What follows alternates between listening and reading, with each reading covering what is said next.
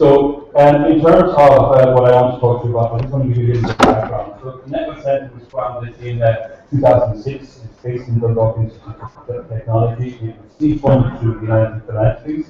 Um, and it focuses on the kind of psychosocial aspects of aging.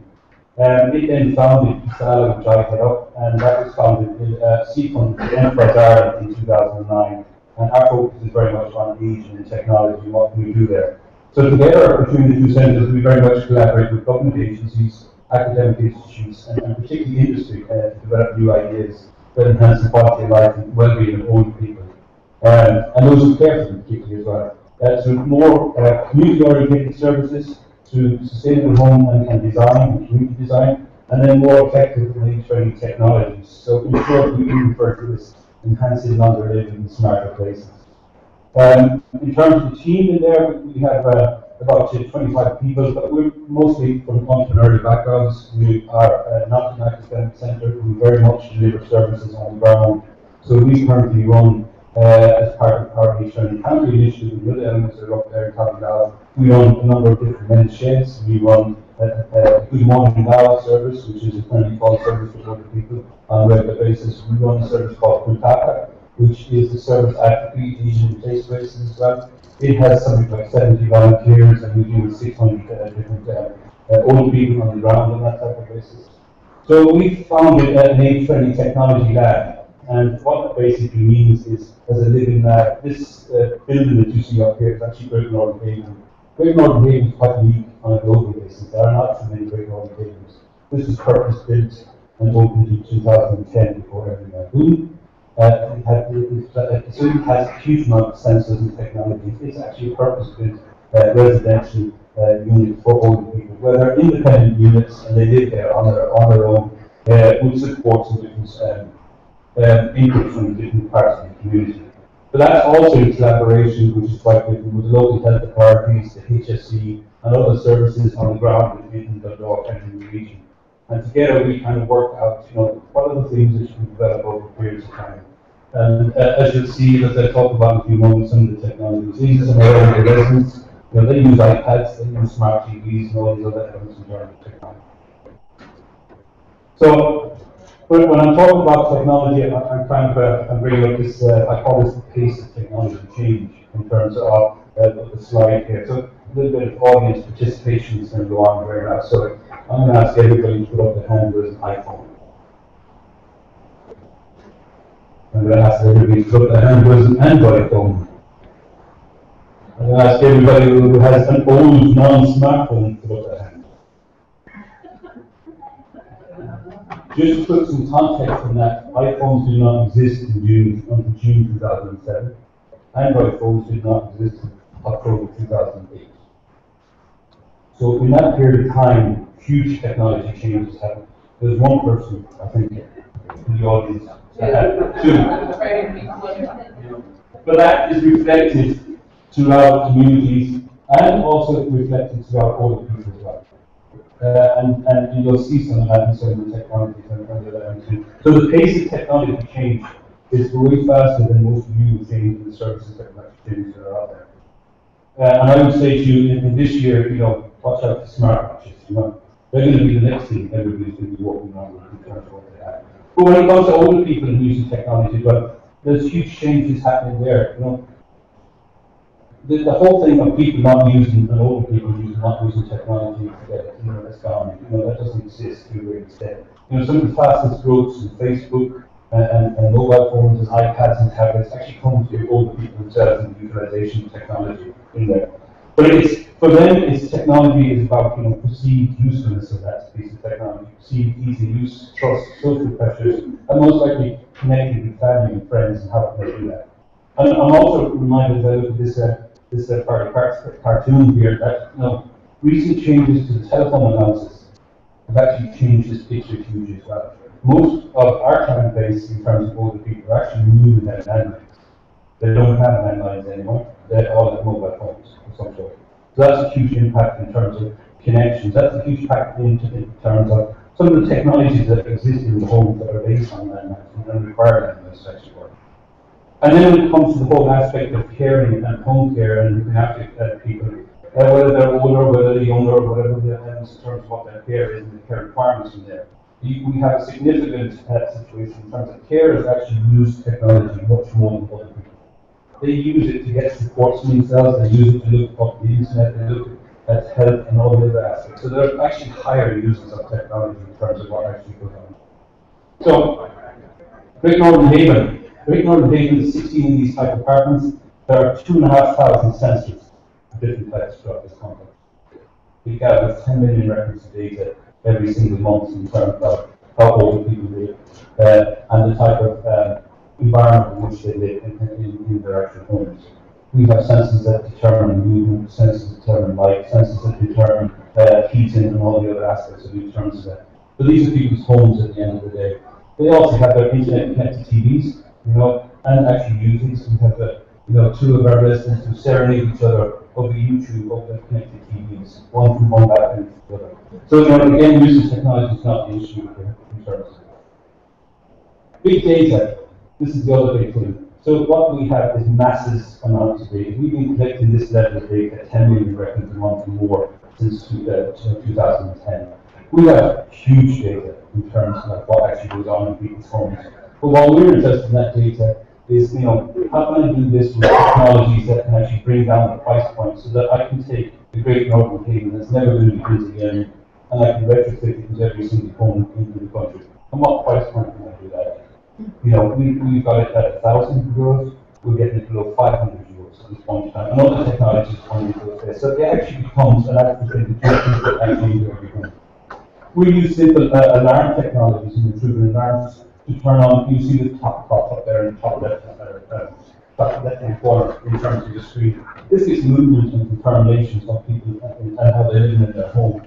So you see the periods of time, uh, 12 o'clock midnight is at the top, 12 midday is at the bottom. So you can see periods of time where they're actually up and moving around and where they are, and what times they're in bed and other.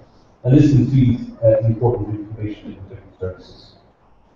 But what does this reality mean in reality? So how do we take this big data, which is all one of break the text, the researchers and geeks, um, how do we turn it into decisions?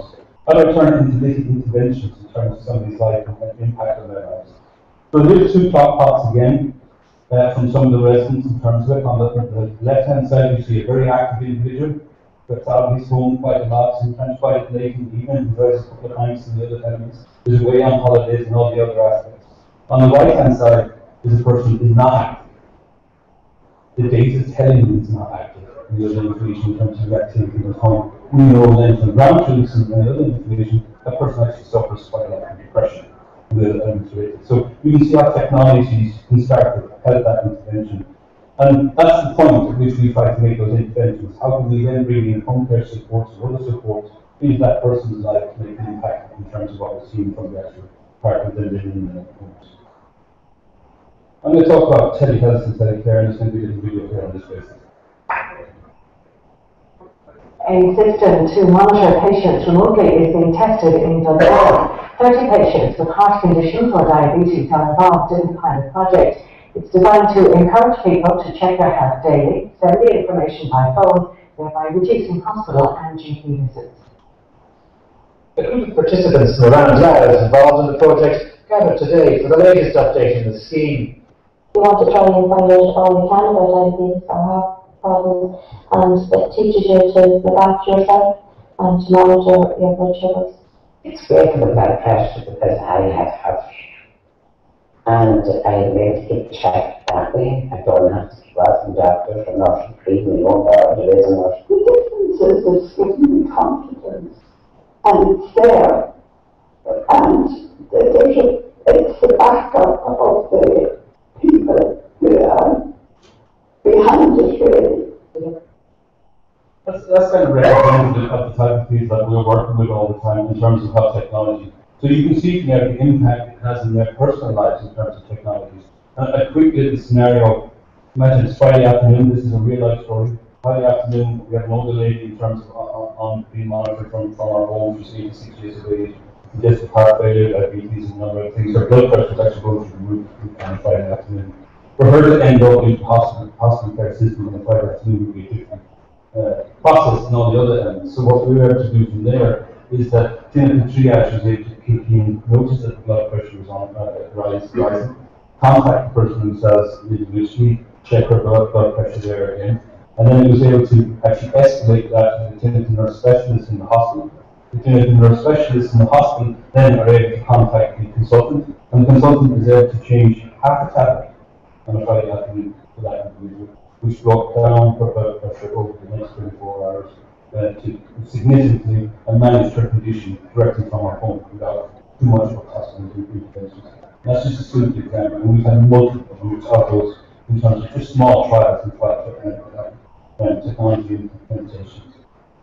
So if I, if I look at the bigger marketplace and, and where does home care and all those elements fit in, healthcare and stuff, these things right now happen. Digital health is becoming absolutely massive in terms of huge investments in other areas.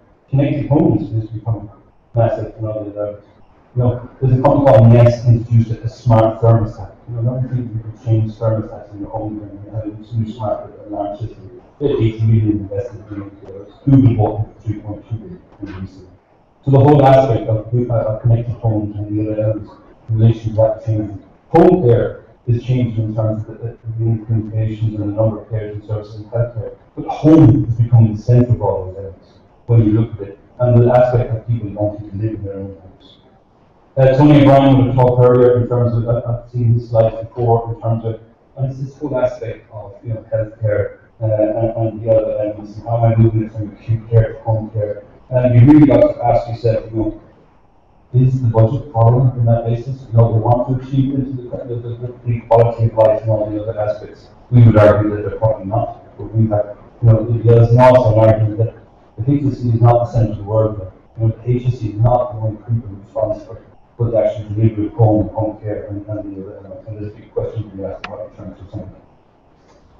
Um, so, like, we've done umpteen conferences over the different periods of years uh, in, in this space and the other things, and there's a common thread that comes out in terms of use of ICT and care and all the different aspects of it. And it's very much this organizational pace of change versus technology pace of change. They do not match in whatever way you at it. It's macro interdependencies against the simplicity in terms of delivering all people of service to all people. Money is finite and shrinking, you know, as distinct that, you know, older adults are growing and population relation grows. We talk about demographic change. The simple fact is irreversible. Doesn't matter what the figures or the other aspects are. It is growing hugely. The the 80s and 85s is growing, and it isn't irreversible. It's not going to change. That's an important part. Telehealth and all the other things in relation to, digital health have been piloted fatigued. We're fatigued with the number of hacks that we've run and all the other aspects. And then you know, there's a value improvement here in terms of and the supports and different types of supports that we deliver into home. But when you look at some of the supports that are available for people in the home, social alarms and all that, they're run in different departments, in different areas. They're not together, not combined, not working together in terms of how can deliver those services. We've had this slide for 20 years at this point, number of years. And we look at it very much from the person at the heart of services, and we do this in terms of all delivery of services out as well. Around that person at the centre then becomes family, community, volunteers, public services, private services, and all the other aspects in terms of, that, of those elements, and where those activities actually go on on a basis. And the big question here in terms of is, you know, home care is one of those layers the onion, is part of that delivery as our family and community and all the other aspects. The question is how can you get those there to only be actually working together in terms of technology and services and together. At the end of the day, you know, the big thing here is that, you know, the connections, this is, this is one of our reasons again, you know, in terms of, it's not just with technology, so and smiling and stuff like that, see there's a and quite active and all the other elements. But it's their homes, they are real people, their real lives and all the other aspects in relation to that. The big question here is how can we create connections between all different groups that actually support him to be able to live in his own home, so that he doesn't end up in residential care. In Great Northern Haven, we've actually taken people out from residential care back into being able to live in their own homes and with that. And we begin to do some of those aspects in terms of the out community. Right now, we provide, you know, uh, technology basis and other elements in terms of transitional care. There's a major hospital in Dublin, Ferntree, running transitional care, they're discharging people from hospital earlier with home care support, and actually home care provider, and bringing them into their homes earlier. Simply because it's, it's high, identified earlier, there are not enough residential care units in. There's got to be another way, another, uh, opportunity in terms of private delivery services. And we would argue that, you know, technology is a big part of that aspect. So whether it's from active ninety-year-olds to bedridden adults or children, you know, they all share a common you know, they want this goal to live out their years in the comfort of their own homes. And rather than, than institutions setting. So, you know, that's supported by individuals, families, friends, community care, healthcare, um, as well as even national and local governments. And some of the aspects of what we do in Laos, Nation, County, and Mission have shown some of the impact of what you can achieve there. You know, so at the end of the day, it's the lack of connection between. Technology can support that lack of connection between the other ends. And I believe technology is a platform on which a lot of that will actually be delivered, uh, uh, but actually delivered at the end of the day. So, I think I'm on time, sir. Very great. Thank you very much. Thank you.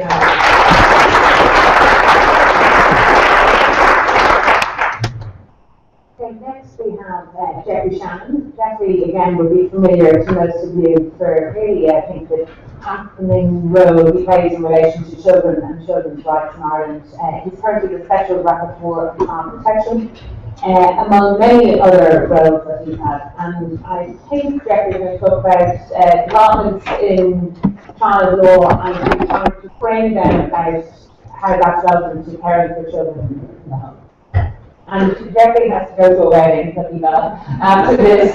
So we're going to let him go after he does um, his talk. Okay, thanks, Geoffrey.